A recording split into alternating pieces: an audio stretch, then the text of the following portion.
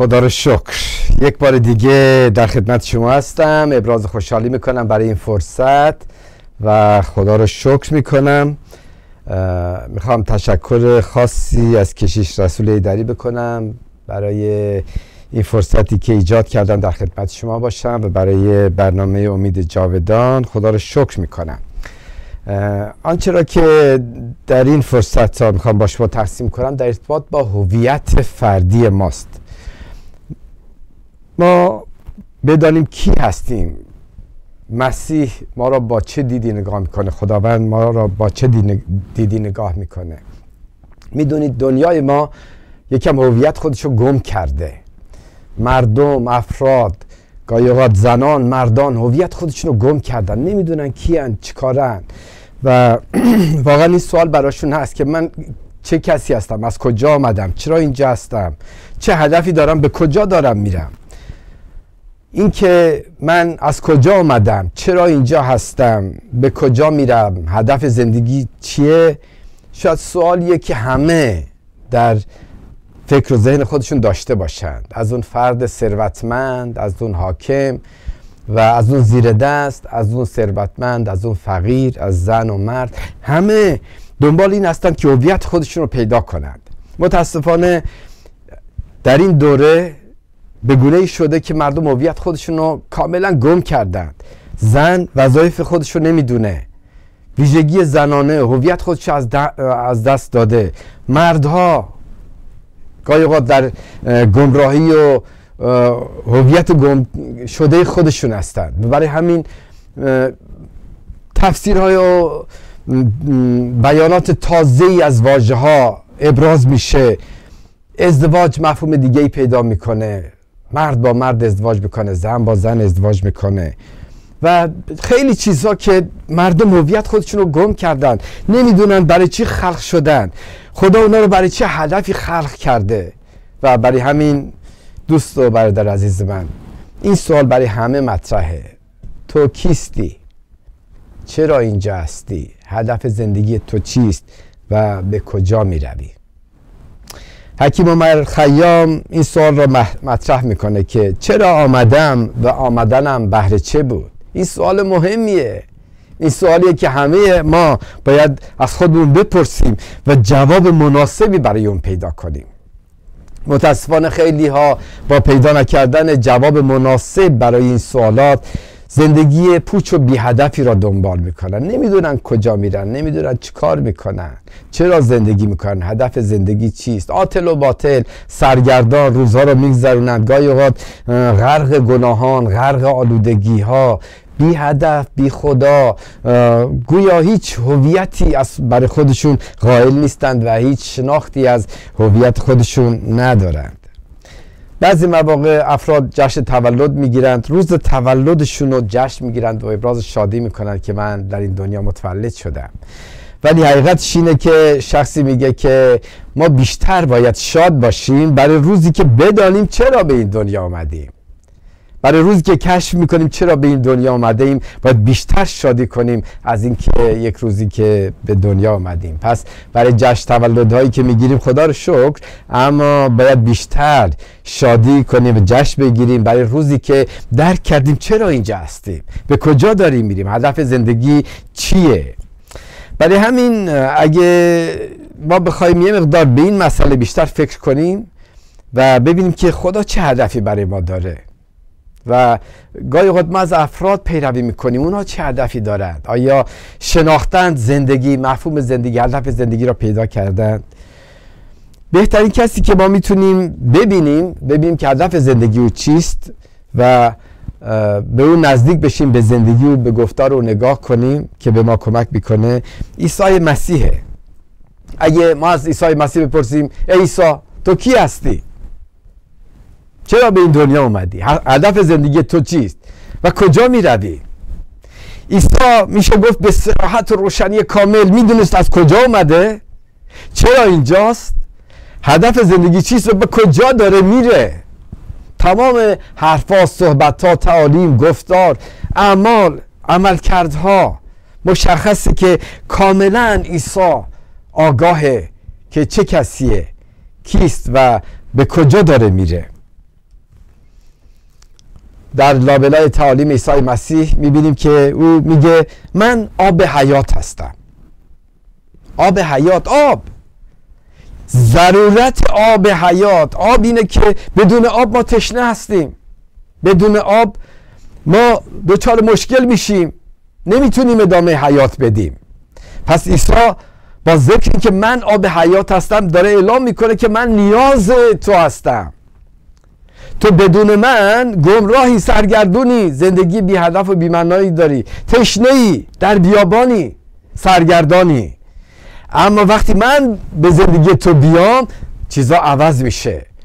برای همین در یکی از روزهای بزرگ عید عیسی مسیح با صدای بلند ندا کرد که ای همه تشنگان نزد من بیایید. اشعیا اینو اشاره می‌کنه که ای جمعی تشنگان بیایید. بدون نقره و بدون پرداخت بها مفت و مجانی بگیرید و بخورید. بیا شامید این آب حیات در دسترس ماست. عیسی مسیح فرمود من آب حیات هستم. من نیاز جهان هستم. دنیا به من احتیاج داره. حقیقتا عیسی آن آب حیاتیه که آمده تا تشنه را تشنگان را سیراب کنه. زنی بود بدنام سر زور در سامره نزد چاهی می‌رفت تا از اونجا آبی برداره. احتمالا در طی روز مردم با او برخوردهای نامناسب داشتند. او شاید در خلوت زمانی را انتخاب کرده بود سر چاه بره. از اونجا آبی بکشه.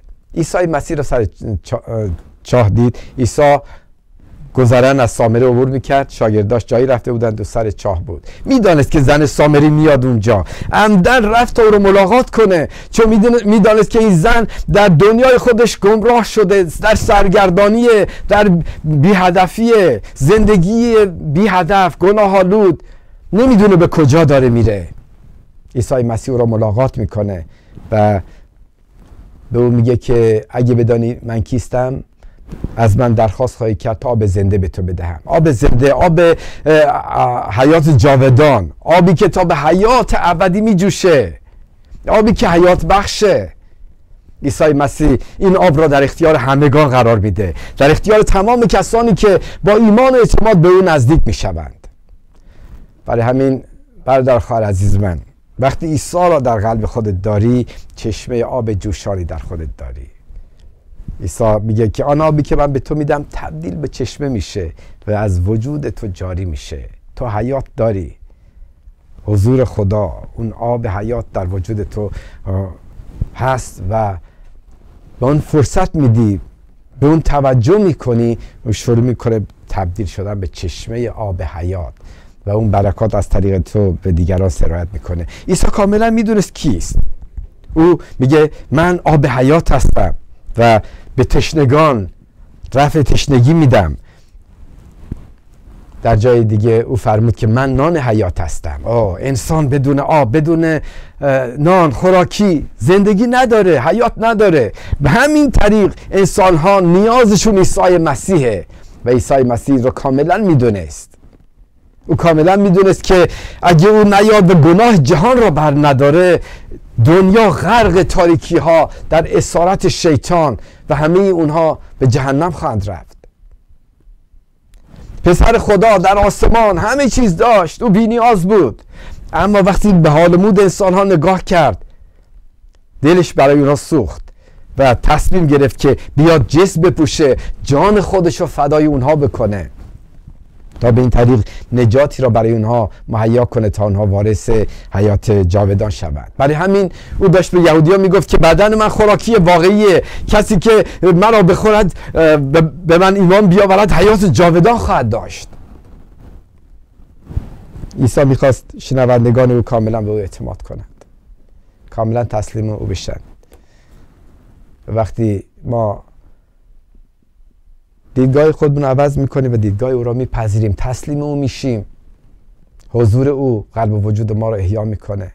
اون آب حیات میاد. اون نان حیات میاد و به ما قوت میده. قوت روحانی میده. به ما حیات میده. در وهله اول عیسی مسیح از هویت خودش آگاه بود. او می‌دانست کیه؟ آب حیات نان حیات به همین سراحت به همین روشنی. دنیا نیاز به او داره و او این را کاملا می‌دانست و این بود که خود را وقت اون هدف کرد. او آمد تا گناه جهان را برداره. همان همانطور که یحیی وقتی عیسی خدمت خودش رو تازه شروع کرده بود و را دید ندا کرد که اینک بره خدا که گناه جهان را بر می دارد. عیسی با برداشتن گناه جهان آب و نان ابدی را مهیا کرد. آب و نان جهان گشت که بتونه به جهان حیات بده. در فرصت های دیگه وقتی عیسی مسیح تعلیمی داد گفت من شبان نیکو هستم. شبان نیکو شبان چوپان گوسفندا را هدایت می‌کنه رهبری می‌کنه از اونها مراقبت می‌کنه از اونها محافظت می‌کنه هدفی برای اونها داره با اونها در ارتباطه. به این طریق داره اونها را رهبری می‌کنه. دوست و برادر عزیز من عیسی مسیح تنها رهبر واقعی همه مردمانه. که هیچ نفی برای خودش نمیطلبه بلکه نیاز اونها رو می‌بینه اونها رو رهبری می‌کنه و جان خودش رو فدای اونها می‌کنه تا اونها را به مقام و مسندی برسونه قرار بده تا اونها وارث برکات خدا بشند شریک جلال خدا بشند در جلال و بزرگی خدا سهیم بشند او را ببینند او را رو به رو ملاقات کنند. عیسی می‌دانست کیست؟ او خود را شبان نیکو معرفی کرد. چقدر روشن چه سراحتی در اندیشه و گفتار او هست. او از هویت خودش آگاهه. بسیاری نمی‌دونند کی هستند واقعا. چی هستند؟ ادعایی می‌کنند. و این ادعا چقدر بر اون آگاهند مشرفند بر اون ادعای خودشون؟ زیر سواله. اما عیسی مسیح به سراحت روشنی هیچ وقت سر سوزنی شکی به خود راه نداد. وقتی از صلیب صحبت می‌کرد بهترین شاگرد خودش براش مبهم بود روشن نبود. هاشا هاشا عیسی چرا باید مصلوب بشی؟ دور شو از من ای شیطان هدف خاصی دارم. من بالای صلیب میرم تا انسان ها نجات پیدا کنند. راه دیگه وجود نداره. من شبان نیکو هستم که جان خود را فدای گوسفندان خودم می‌کنم. من گوسفندای خودم رو می‌شناسم. او شما رو می‌شناسه او شما رو دعوت می‌کنه. و می‌خواد که شما هم تحت شبانی او قرار بگیری. اینه که برادر خواهر عزیز من او آب حیات نان حیات شبان نیکوست که جان خودش رو فدای ما می‌کنه. عیسی مسیح فرد نابینایی را بینایی داد. فرد نابینایی که نابینا متولد شده بود. چشمای او را لمس کرد و به او بینایی داد و گفت من نور عالم هستم. حقیقت اینه که دنیا غرق تاریکی روحانیه.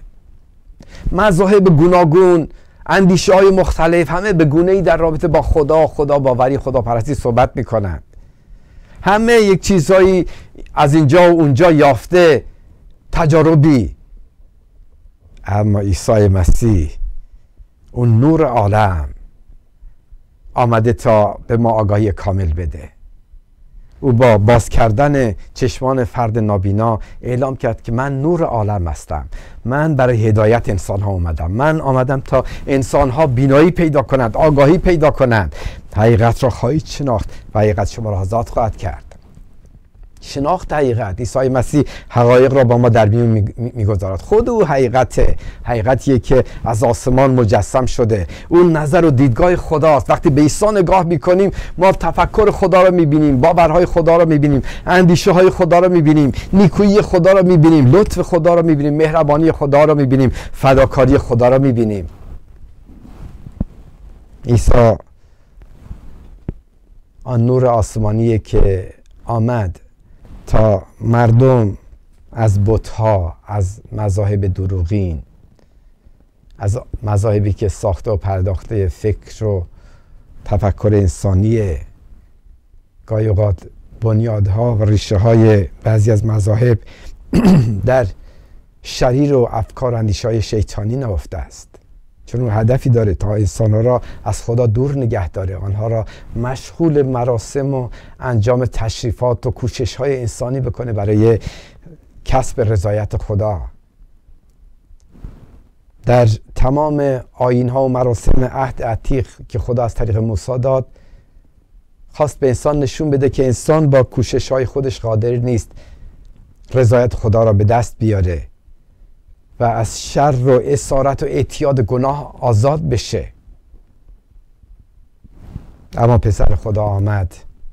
آن مرهم آسمانی آن آب حیات آن نان حیات آن شبان نیکو آن نور عالم تا به ما حیات بده تا ما را رهبری کنه تا ما را منور کنه. دوست و برادر عزیز من هیچ جایی هیچ توسط هیچ کسی به غیر از عیسی مسیح نجاتی وجود نداره.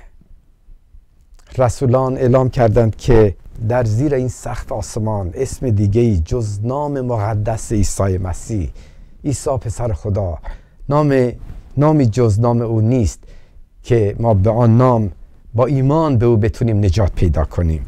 و اینه که عیسی این حقیقت مسلم. او فرمود که من راه و راستی و حیات هستم. او من راه هستم. من راستی هستم. من حیات هستم. کسی که به من ایمان بیاره راه را می‌بینه. شاگردای ابهام داشتند سوال داشتند. هنوز در اون تکاپوی انسانی تقلاهای انسانی برای درک عمق حقایقی که عیسی مسیح می‌گفت سرگردان بودند. ولی در لحظات آخر وقتی عیسی پای صلیب بود شاگردای اینا اقرار کردند که الان می‌دانیم که از جانب پدر آمدی. همه چیز را میدانی و داری به سمت پدر برمیگردی. او شاگردا دیدن همین حرفا گفته ها مسائل را که او می‌دید آینده را که اعلام می‌کرد قبل از وقوع مسائل را پیش پیشگویی می‌کرد. آنها را رهبری و هدایت می‌کرد و او نشان می‌داد که او راه راستی و حیات است. عیسی مسیح فرمود که من قیامت حیات هستم. همه چیز به وسیله من زنده میشه. همه چیز به وسیله من حیات پیدا می‌کنه. بدون من حیاتی وجود نداره. وقتی ما به عیسی مسیح ایمان میاریم حیات تازه پیدا می‌کنیم. و یک روزم با ایمان به عیسی مسیح این جسم های فانی ما که ما این را ترک می‌کنیم قیام خواهد کرد و متبدل خواهد شد و جسم های ابدی که فنا ناپذیره پیر نمیشه مریض نمیشه فرسوده نمیشه را خواهیم یافت. او قیامت حیاته. آه. همه ما یک روزی باید در حضور خدا بیستیم. بدون ایمان به عیسی مسیح هیچ امیدی برای کسی وجود نداره. او راه راستی و حیاته. اگه کسی را پیدا کردی که چنین ادعاهای قاطع مسلم و مشخصی کرد آینده را گفت. من میمیرم و در روز سوم زنده میشم. او مرد زنده شد و در مدت چل روز خود, خود را به شاگردان نشون داد. و این سرآغاز ایجاد کلیسا بود. و امروز هم او زنده است ما را ملاقات می‌کنه. او ایلازری را که چهار روز مرده بود افراد دیگه ای را زنده کرد و اعلام کرد که من قیامت و حیات هستم. مردم از طریق من می‌تونن زنده بشن حیات ابدی پیدا کنن و تا ابد زنده بمونن. برای همین برادر خواهر عزیز من وقتی ما به عیسی مسیح ما میاریم انجیل اعلام می‌کنه که از ما از موت به حیات منتقل میشیم. از هیته و تسلط مرگ و چیزهای منفی به جایی میاییم که اونجا حیات و حضور خداست و اون حضور خدا تا به ابد در زندگی ما ماندگاره. ما وارث اون حیات و برکات میشیم. عیسی مسیح من هستم. او همیشه همونه تغییر ناپذیره. زمانی رو در جسم گرفت در جسم گذرانید. وقتی از جسم ما بیرون میاییم دیگه زمان متوقف میشه. زمان معنا نداره. اون ویژگی ابدی و خداگونه رو میابیم عیسی اون کسی بود که از ازل بود در جسم ظاهر شد و تا به ابد همون هست. و من هستم ابدیه. او آگاه از هویت خودش. پس برادر خواهر و خواهر من دوست عزیز من شما اگه می‌خوای از کسی پیروی کنی حرف کسی را بشنوی پیغام کسی را بشنوی باید پیغام او چنین باشه. با این سراحت با این روشنی از هویت خودش آگاهه. و وقتی تو هم به او ایمان میآوری هویت تازه پیدا می‌کنی. که البته من در این ارتباط بیشتر صحبت خواهم کرد. ولی در بخش آغازین صحبتم اینه که ما باید درک کنیم که هویت گم شده ای هست و ما خیلی وقتا گمراهیم. اما چیکار کنیم؟ کجا بریم؟ کسی را پیدا می‌کنیم که از هویت خودش کاملا آگاهه. با دیدی روشن به خودش به زندگیش. به هدفش با نگاه می‌کنه. و او کسی نیست جز عیسی مسیح و تنها کسی است که شایسته است ما در اثر قدم های او قدم برداریم. نه تنها این بلکه با ایمان به او این حیات در وجود ما ساکن میشه. و ما حیات ابدی پیدا می‌کنیم. عزیزان من ما می‌تونیم این پیغام را با دیگران تقسیم کنیم. عیسی به عنوان آب حیات نان حیات شبان نیکو نور عالم راه و راستی و حیات قیامت و حیات. اینو با دیگران تقسیم کنیم تا دیگران هم عیسی را به این گونه بشناسند به این گونه ایمان بیاورند تا از اون آب حیات برخوردار بشند از اون نان حیات برخوردار بشند و از اون نجاتی که عیسی مسیح مهیا کرده برخوردار بشند. اما خود ما خود شما یکی که ما با ایمان به اون در اون فراوانی در اون سیری و پری روحانی زندگی کنیم. و در این حال در کنار عیسی مسیح هویت خودمون رو پیدا کنیم و با اون هویت پیدا کرده آگاهانه بدانیم کیستیم چرا اینجا اومدیم و به کجا میریم و هدف چیست. با آگاهی به این زندگی سعادتمند و پرمعنایی خواهیم داشت. پس از شما دعوت می‌کنم که برنامه های ما را دنبال کنید تا بیشتر به این آگاهی و به این آگاهی از هویت فردی و شخصی خودتون برسید. خدا شما رو برکت بده. متشکرم از توجهتون. به این برنامه.